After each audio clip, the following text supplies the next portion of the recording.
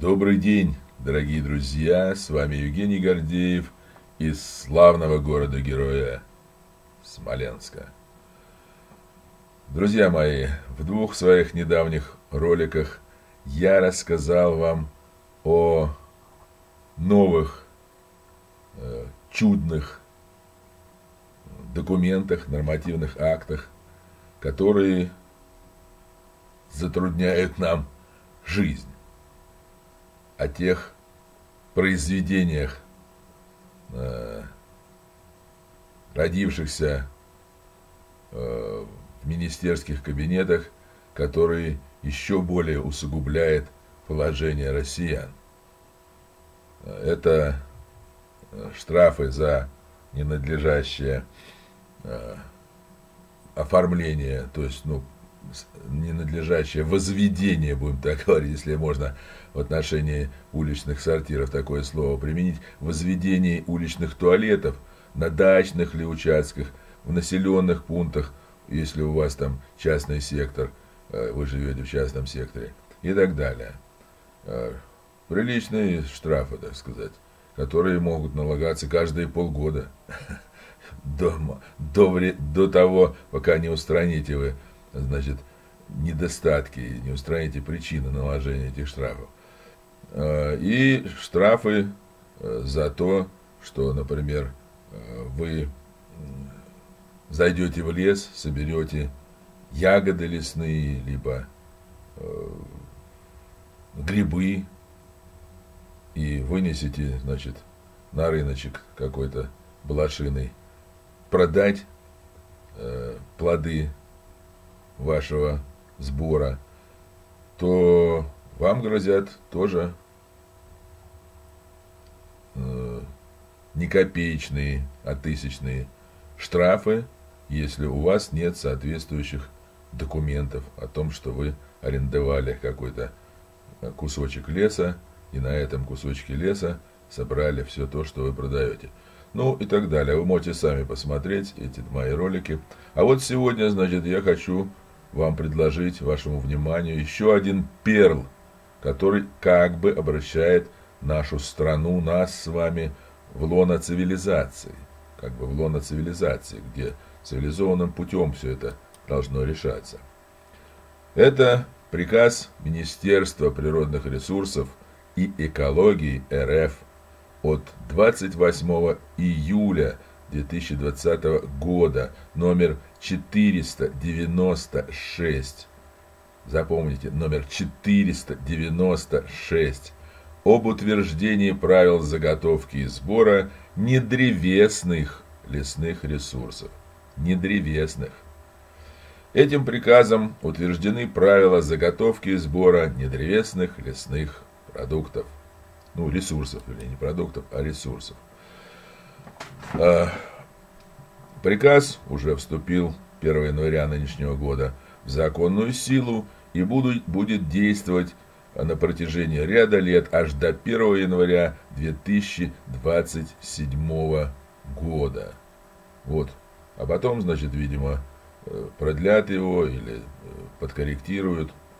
Ну, не знаю. Этот важный, важный для нашей Родины, для государства, для всех россиян и пугающий, видимо, для наших противников зарубежных документ подписал министр природных ресурсов и с прекрасной, чисто русской, как мне кажется, фамилией Кобылкин. Запомните эту фамилию. Господин Кобылкин отныне, значит, распоряжается нашими походами в лес. Вот, что же это за правило? Ну, во-первых, я сразу же хочу оговориться, что они не распространяются на случай заготовки сбора этих видов ресурсов гражданами для собственных нужд. Хотя я не могу себе представить, какими собственными нуждами Эм, какие собственные нужды заставят меня пойти, например, э, собрать там бересту или хвою. Но если только, так сказать, э, мой кто-то близкий человек, ну, отдаст Богу душу, и вот по традициям каким-то э, надо перед, э, перед гробом, который несут, кидать э, еловые там веточки. Вот, может, это, так сказать, меня подвигнет пойти в лес и сделать заготовку для себя. Ну, я не вижу, так сказать, зачем мне это нужно. Вот. Ну, во-первых, значит, я уже сказал, что для собственных нужд ненаказуемо, если вы, так сказать, докажете, что это собственные нужды. Вот. Этот приказ трактует заготовку и сбор недревесных ресурсов лесных как предпринимательскую деятельность, связанную с изъятием, хранением, вывозом соответствующих ресурсов из леса. Ну, наверное, переработкой и продажей. Или без переработки продажи. Потому что э, что за предпринимательская деятельность, если ты просто изъял, хранил и вывез ну, соответствующие ресурсы. Это не предпринимательская деятельность, а как бы для себя. В каких бы объемах я не заготавливал, значит, эти ресурсы. Если я выгоду не извлекаю, то какая же это предпринимательская деятельность? Это, наверное, для себя. Вот я, значит, вывезу и заготовлю, значит, несколько тонн коры березовой, бересты, и, и, и, и скажу, ребята, это для себя. Вы меня что, поймали, так сказать, за тем, что я это продаю, или что? Корзинки плету и продаю. Нет. Значит, для себя. Ну ладно, это пускай на их будет деятельности доказывания и прочее. Что же такое в этом приказе, э, как этот приказ э, трактует недревесные лесные ресурсы? К недревесным лесным ресурсам относятся, прошу запомнить на всю жизнь, пни. Значит, вы, я не представляю, чтобы я пришел, значит, с ломом, э, что еще, лопатой, пилой какой-то, и выворачивал для собственных нужд какой-нибудь огромный пень, так сказать, в обхвате, в обхвате 2 метра, или там в диаметре 2 метра. Я его бы выворачивал для чего-то, для себя. Ну, не знаю, значит, или в промышленных масштабах каких-то выворачивать. Значит, что их продают, пни, я не знаю. Может, их, правда, они идут. Я знаю, что пень очень трудно даже расколоть колуном там или топором. Практически невозможно. Но, наверное, пни зачем-то заготавливают, раз в приказ попали, пни. Вот. Вот на, в, в этой тайге, при Амурской, при Барикальской, где китайцам, так сказать, отдано на откуп миллионы гектаров – э, земли, и они там безнаказанно делают порубку, там, говорят, пни торчат, значит, э, в половину человеческого роста и выше, так сказать. Они валят лес в том э, размере, объеме, который им нужно. И тут же валяются, значит, и гниют, значит, и распространяют запах страшного аммиака, от которого ни птиц там, ни комаров, ни лис, ни зайцев, никого, в общем, лесного зверя, естественно, нет, потому что земля как бы лысая на миллионы гектаров, и в то же время, значит, вот этот вот запах аммиака, запах гниющих веток этих, которые они не убирают почему-то, и им за это ничего нет, э, он убивает все живое вокруг, так сказать. Убивает все живое. Вот. И там эти пни торчат. Может быть, туда, значит, стоит поехать заготавливать эти пни. Я не знаю. Вот, ну ладно, на пнях я запнулся. Каламбур такой, запнулся на пнях. А, пни, береста, кора деревьев и кустарников. Ну, у кустарников действительно кора. На лапте, может быть, берут. И из чего-то лапти делают. Из липы. Лапти липовые. Вот. Ой, лапти мои, лопаточки мои. Какая-то песня есть. Вот. И, и у кустарников кору обдирают. Слушайте, ну это неблагодарная какая-то работа у кустарников а, обдирать кору. Я знаю, что из ивника там плетут корзины там какие-то. Ну, кору, может быть, обдирают. Хворост, валежник. Я думал вообще, что хворост и валежник одно и то же. Оказывается, хворост и валежник вот этим приказом мне разделилось, так сказать, это понятие.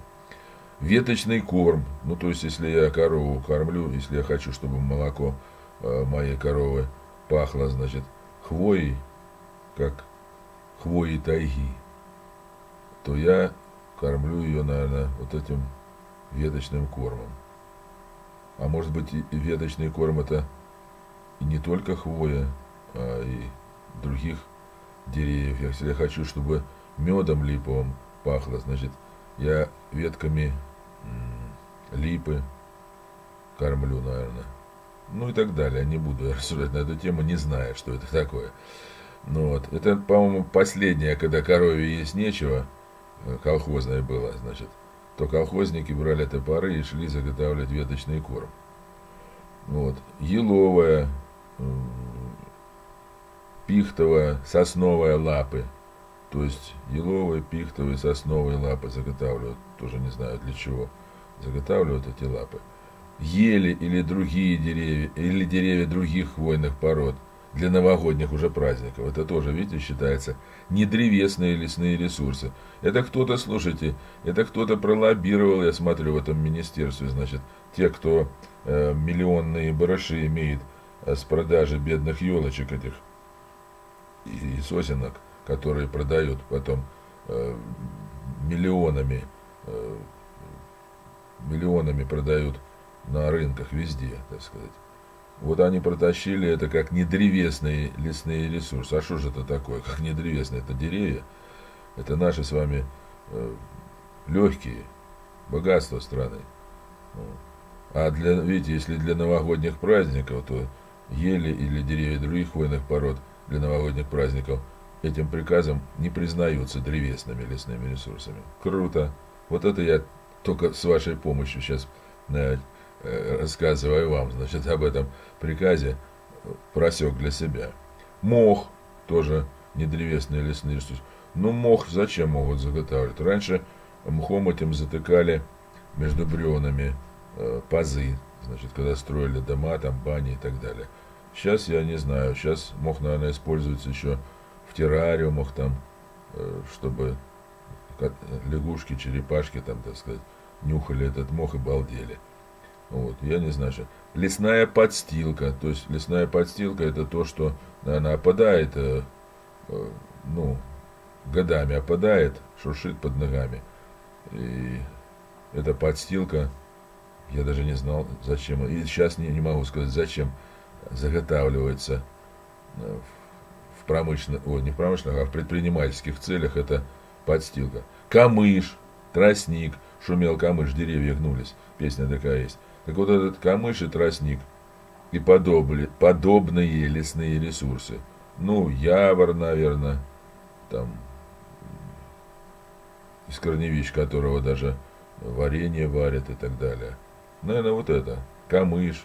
Ну, из камыша там делают даже хижины какие-то камышовые. Ну, в общем, я не буду фантазировать. Вы сами, может быть, и мне догадаетесь, и мне расскажете, для чего все это нужно. И подстилка, и камыш, и тростник. Ну, наверное, нужны. И нужны в больших масштабах, наверное, раз, так сказать, государство встало на защиту этих лесных ресурсов и на то, чтобы с этого получать деньги. С одной стороны, деньги получать за штрафы с тех, кто нарушает, а с другой стороны, деньги э, получать при оформлении, так сказать, лесных участков в пользование этим э, заготовителям, этим гражданам, этим предпринимателям крутым. Вот. Дальше в приказе написано, что граждане, юридические лица осуществляют заготовку и сбор недревесных лесных ресурсов в предпринимательских целях на основании договоров аренды лесных участков. Вот я вам про что и говорю. Если договора, если ты продаешь, э, значит, валежник, кору какую-то, вот, э, подстилку эту лесную стоишь, значит, мешками продаешь, если ты камыш, тростник и подобные ресурсы, значит, э, выставил на продажу где-то на улице или в магазине, значит, или, или, или же через интернет продаешь. А что? Сидит бабка, значит, в деревне и через интернет на э, несколько стран мира, значит, поставляет камыш или подстилку.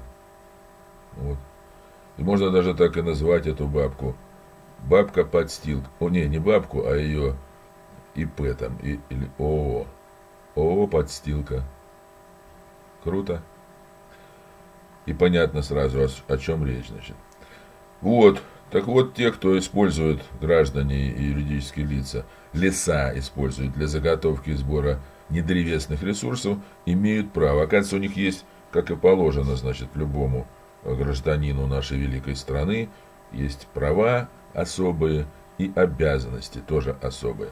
Значит, вот эта бабка, которая, значит, э, распоряжается всей подстилкой в округе лесной, э, имеет право. Давайте, правда, на этой бабке мы, а, так как-то э, очень общо получается. А вот когда бабка, сразу представляешь себе такую, ну, не, не ягу, конечно, не бабку-ешку, а простую российскую бабку, так сказать, которая э, тащит за спиной э, вязанки хвороста или валежника, которая, значит, ворошит эту подстилку, которая на свои будущие похороны заготавливает, извиняюсь, заготавливает э, лапы, лапы еловые, сосновые там или еще какие-то, ну и так далее. Вот представьте себе эту бабушку, значит, с хусткой на голове, в ватнике, телогрейки, она еще сохранила с тех времен, когда это была обычная сельская одежда. Вот. В обрезаниках называли обрезаники. Это значит такие валенки с галошами или резиновые такие, как из сапог обрезанные. Обрезаники. По крайней мере, на Смолечине так называли. И вот эта бабка, значит, э, шуршит по лесу, и она имеет право осуществлять использование лесов в соответствии с условиями договора аренды. Вот она подписывает договор аренды, она читает условия, она вносит коррективы. Она говорит, «Шинок, вот тут ты неправильно написал. Давай тут напишем, что я вправе внучка своего брать там или внучку в лес. Они, мол, без договора, договора у них нету, но мне же надо, так сказать, валежник этот принести, ну, который я. Или же сгрюсть эту шушавшую подстилку лесную. Так? Ну вот, внесут эти, значит, может быть, дополнения, изменения к договору к этому который они предлагают, ну, типовой. То есть бабка активно должна участвовать в составлении договора. Вот, и там написано, кто чего может и должен делать. Дальше, бабка вправе это создавать лесную инфраструктуру. Ну, там, туалет построить, магазин, э, лавку какую-то. Нет, конечно же, не об этой инфраструктуре речь, но важно подчеркнуто здесь, что лесную инфраструктуру, в том числе лесные дороги. И я представляю себе эту старушку, имеющую пенсию там ниже низшего предела, и она стоит и поворачивает, значит, с трассы Москва-Минск э, огромные КАМАЗы э, с гравием, с бетоном, с асфальтом и кладет к своему участку лесному, который в лесном массиве затерялся, кладет дорогу. Не, наверное, тут я тоже ошибся. Речь о лесной дороге. А лесная дорога это что такое? Это грунтовая, видимо, дорога, вдоль которой как раз и растут эти грибы и ягоды. Но все равно, значит, бабка, значит, э, валит деревья, делает просеку, э, вытаптывает эту лесную дорогу своими обрезанниками этими, ну и так далее. Вот, ей предоставлена также э, возможность на лесных, на лесном участке, который взят в аренду, построить какие-то навесы, какие-то другие некапитальные строения и сооружения – что это за навесы? Ну, наверное, четыре столба и навес из того же камыша, крытый тем же камышом, наверное, где она складирует, бабочка это, бабулечка, это э, подстил, нет, так, ООО подстилка, руководитель, складирует заготавливаемые лесные вот эти вот ресурсы, лесные недревесные ресурсы. Вот. И обязанности этой, этой бабулечки. Ну, на примере бабулечки мы, мы решили, значит, показывать. Ее обязанности. Она обязана, смотрите, составлять проект освоения лесов. Вот она стоит, значит, и продает лесные ресурсы эти, значит. Она продает э, траву первоцвет, например, ну, растение в пищу стоит. Щавель, который она на поляне на своей, которую она арендовала, насобирала. Э, она продает там хворост стоит, с вязанкой хвороста стоит тут у нас тут на Багратиона микрорынок такой, где эти бабки торгуют. Она продает э, кору, которую никто не берет, но она ее вот э, с дуру, так сказать, заключила договор, значит, на заготовку коры, думая, что, что это прибыльное дело. Но никто не берет, так сказать. Ну. Она на вербное воскресенье веточки вербы с этими зайчиками продает. И вот она должна составить проект освоения лесов. Ну, лесов, наверное, понимается, свои делянки, так сказать. Что она будет на все леса проект составлять? Но, тем не менее, вот представьте себе, эта бабка сидит, значит, у себя в хате и морща и без того морщинистый лоб, значит, пытается составить проект освоения своей делянки. Ну, она пишет проект. Она пишет освоение арендованного участка.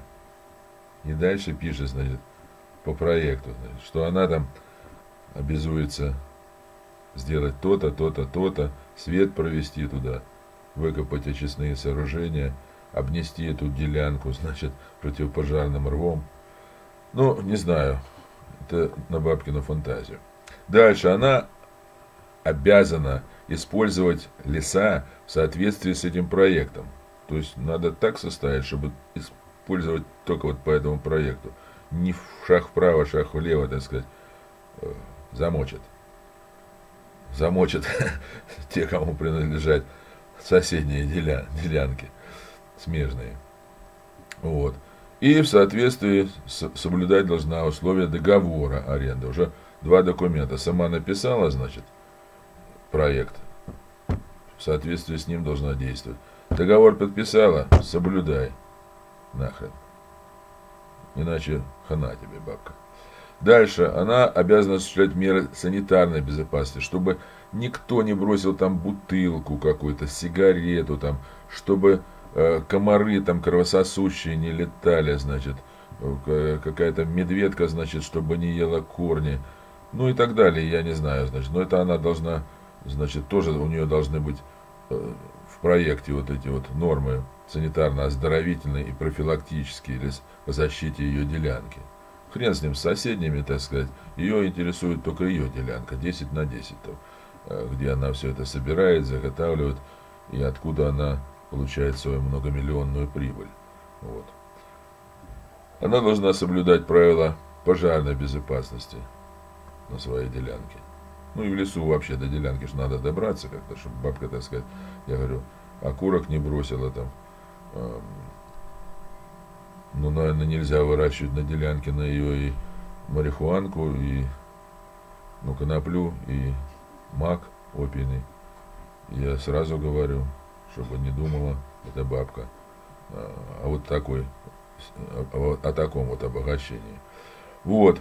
Дальше она должна осуществлять меры, направленные на исключение случаев загрязнения лесов радиоактивными веществами, химическими веществами, понимаете? И иного негативного воздействия на лес. Ну, я представляю себе, бабка, так сказать, э, едет в Десногорск, где у нас атомная станция, э, просит, значит, за большие деньги, чтобы ей вынесли э, радиоактивные вещества какие-то, несет на свою делянку, там как закапывает, значит, и у нее начинают расти грибы белые, вот такого, значит, с шляпками с такими. У нее начинает земляника такая больше, чем клубника расти там. И, конечно, это называется заражение радиоактивными веществами. Откуда у бабки, значит, радиоактивные вещества? Или она должна там стать с трехлинейкой, которая от деда ей осталась, э, с тысяча... Когда там, в 1895 году Мосин, кажется, изобрел трехлинейку. И она должна с этой трехлинейкой стать и не пускать никого, кто пытается завести из Германии или из скандинавских стран, значит, э, радиоактивные вещества какие-то на ее делянку. Вот какая у нас бабка. Настоящая российская бабка. Вот, она должна соблюдать правила, опять, противопожарной безопасности в лесах. Ну, я не знаю, что это за огнедышащая бабка, так сказать. Я знаю, что у бабки, у этой у Бабы Яги, например, брат. Кто это у нее брат? У Бабы Яги брат. То ли Змей Горыныч, то ли Кощей Бессмертный, я уже забыл.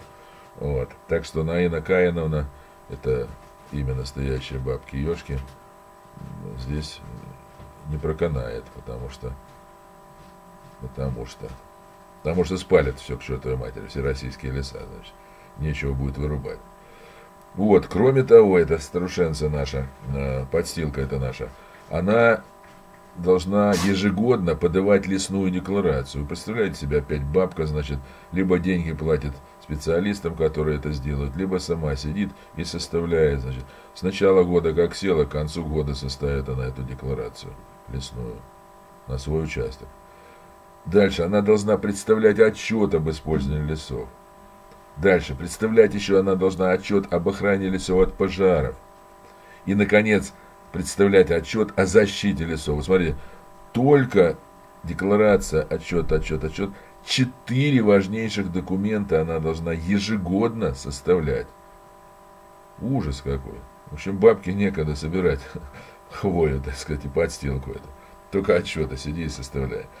Ну вот, я не знаю вообще, кто и чем там думает, так сказать, кто, чем, зачем вообще э, вот в такое трудное для России время, когда мы обложены санкциями, когда мы, так сказать, в намордниках все ходим, значит, э, глазками бле, блещем друг на друга, злые, э, коронавирусные, э, я не знаю, я вот сейчас в 9 мая впервые из жизни, значит, э, увидел, что что затухает этот праздник, понимаете, на глазах, со слезами на глазах он у нас затухает. Значит, флаги вывешены только, значит, на центральных улицах, больше нигде нету. А, значит, э, музыки, музыки нету, значит, вместо музыки бравурной, значит, ну, не, пусть не бравурной, а победной такой, маршей каких-то, э, этого День Победы песни.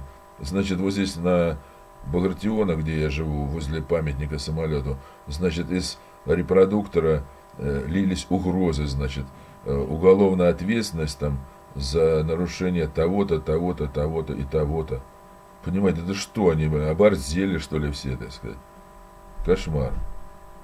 Я не случайно именно 9 мая выставил, значит, свой ролик э, о штрафах за уличные сортиры, значит, э, которые на нас собираются штрафы налагать. Ну,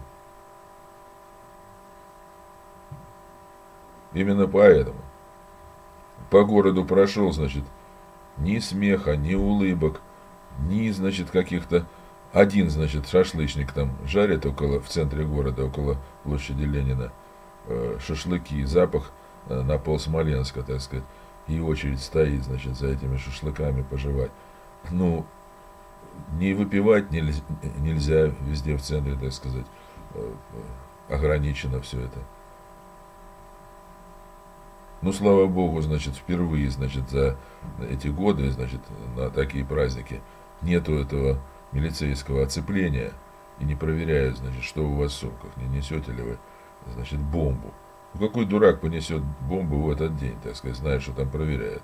Наверное, э, если кто-то хотел, заложили бы ее, значит, за две недели, э, куда надо.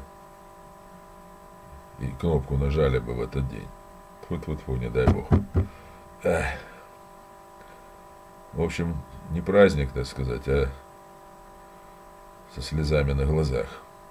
Ну вот, бабка эта, так сказать, обложилась отчетами и так далее, и некогда ей, значит, не пни заготавливать, а тем более бабку, представьте себе, словом с лопатой, выворачивающую огромный пень на своей делянке. Ужас. Ой.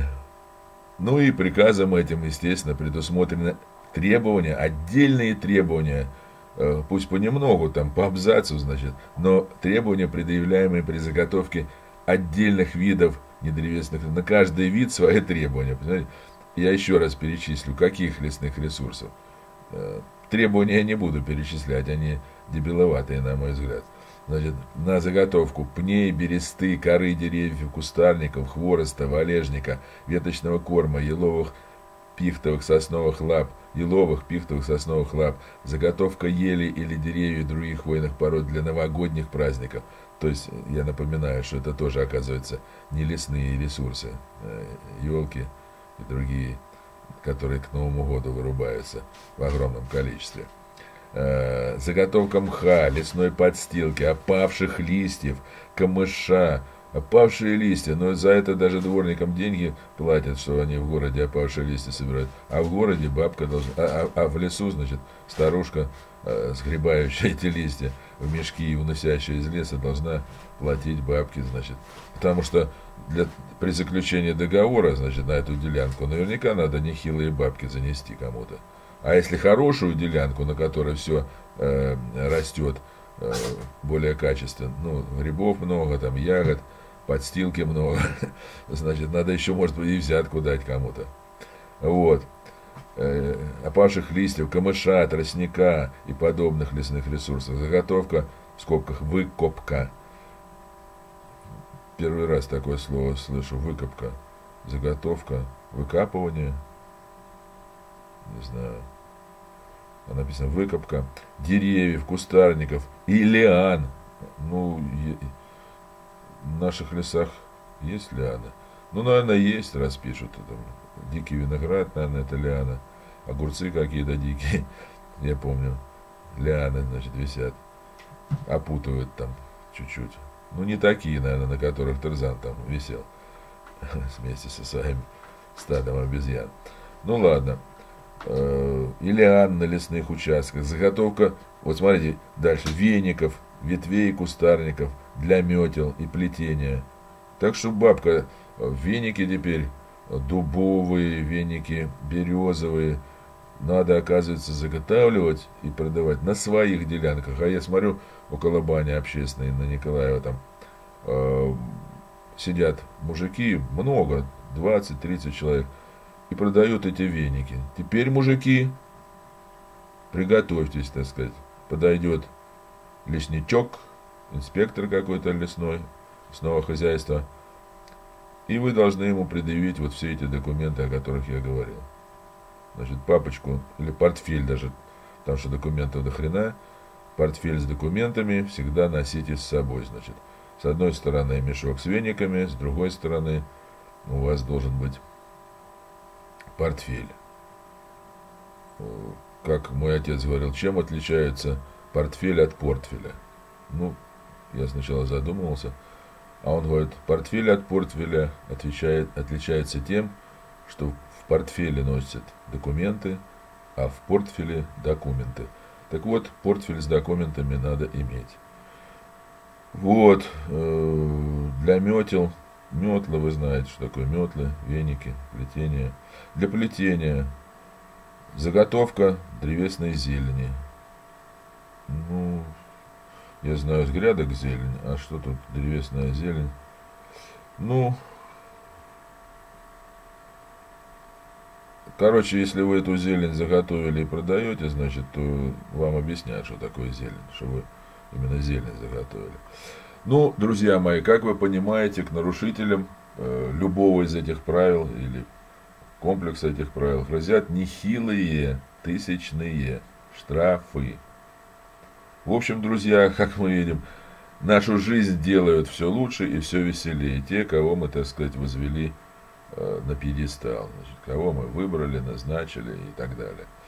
И я не устаю повторять, друзья, что все эти им подобные меры и запреты необходимы и важны. Мы все понимаем, что надо, надо наладить, в конце концов, хватит из леса безнаказанно таскать подстилку, хватит Э, значит, лианы э, вытаскивать из леса километрами. Хватит все это делать. Хватит веники вязать. Значит, за счет бюджета нашего народного, общенародного. Ну.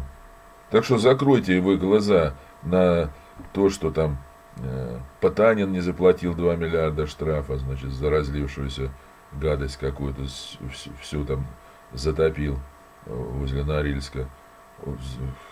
Хватит э, перемывать кости китайцам, которые вырубили к чертовой матери всю тайгу и которые э, из Байкала качают воду, значит, прям к себе в Пекин. И, или разливают по бутылкам и нам же продают байкальскую воду. Хватит всем этой ерундой заниматься переходите, так сказать, э, к этой теме, к очень важной теме. Значит, у вас воруют из-под носа подстилку лесную. Листья гребут. Листья гребут кубометрами. А вы не замечаете. Вот теперь заметите. Значит, все это нужно и важно, но необходимы эти меры – в цивилизованном государстве, где прежде всего обеспечена достойная жизнь его гражданам, гражданам этого государства, где должным образом налажена социальная прежде всего сфера, где э, люди живут достойно, а в России же, э, как мы знаем, 22 с половиной, кажется, миллиона граждан живут за чертой бедности. Ну, каждый э, четвертый или пятый россиянин живет, значит, ниже плинтуса. Вот. Больше 8 миллионов не имеют работу. Я ошибаюсь, конечно, но ошибаюсь я в низкую сторону, гораздо больше. Это только официально, наверное, а скрытая безработица. Вот. 40% населенных пунктов России не, не газифицировано до сих пор. А мы там, значит, северные потоки, южные потоки гонят, так сказать. Ну, имеют зарплаты, значит, э, магнаты нефтяные и газовые, до 4,5 миллионов рублей, вы представляете? Нет, вы не представляете, потому что я говорю о 4,5 миллионах рублей в день, зарплата в день вы можете себе представить. Вот такие дела при ваших 500 рублях в день. Э, дальше. 23,6% населения не имеет в своих жилищах канализации. То есть как раз э, занимается процессами диссимиляции э, в, в уличных скворечниках, за которые значит, 5 тысяч штрафов грозит каждые полгода, если скворечники не соответствуют предъявляемым условиям. А у нас все, конечно, не соответствуют. Я не знаю, у кого соответствует, тот это, наверное, даже домашний сортир не соответствует этим условиям, которые предъявляются к уличным. Вот. Вот такой вот, представляете. А нас, как мы видим, я вот рассказываю, стращают тысячными штрафами за непотребный сбор грибов, ну, за незаконный сбор грибов и ягод за заготовку коры и хвороста, ненадлежащее обустройство уличных сортиров.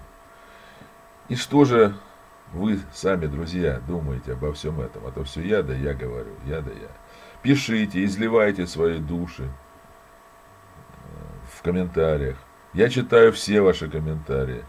И на многие из них отвечаю. Если, друзья, к тому же вашим жизненным кредо является доброта, милосердие, человечность, то поддержите материально мой домашний приют Катавася, как сделали это за последнее время Вера из дальнего зарубежья, Ирина Георгиевна И, Галина Викторовна К. Спасибо им огромное, им и другим моим подписчикам, подписчицам, прежде всего, поддерживающим нас в богоугодном деле спасения животных. Друзья, есть такая древняя, очень древняя индийская легенда о том, что когда человек умирает, и он уже бестелесный, должен пройти, перейти мост, который ведет душу на небеса. И при входе на этот мост его ожидают, представьте себе, животные, причем как обласканные им при жизни, так и те, которых он обидел, которым отнесся, может быть, даже э, не дай бог, жестоко.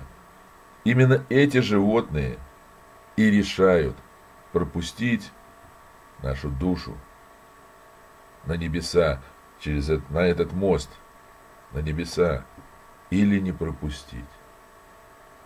Ну а с вами был Евгений Гордеев из славного города-героя Смоленска. Здоровья, счастья, всех благ нам.